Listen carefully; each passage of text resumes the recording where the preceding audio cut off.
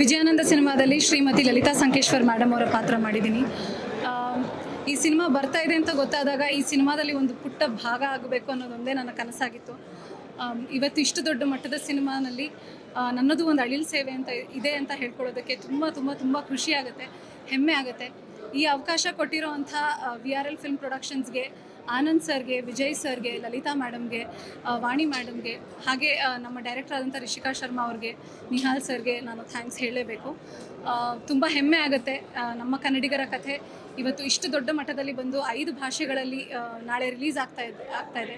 ಈಗ ತಾನೇ ಪ್ರೀಮಿಯರ್ ಶೋನಲ್ಲಿ ನೋಡ್ಕೊಂಡು ಬಂದಮೇಲೆ ಎಲ್ಲರೂ ತುಂಬ ಉತ್ತಮ ಪ್ರತಿಕ್ರಿಯೆ ಕೊಡ್ತಾ ಇದ್ದಾರೆ. ತುಂಬ ಖುಷಿ ಆಗುತ್ತೆ. ತುಂಬ ಮಿಕ್ಸ್ಡ್ ಇಮೋಷನ್ಸ್ ಇದೆ ನನಗೆ ಈ ಕ್ಷಣದಲ್ಲಿ.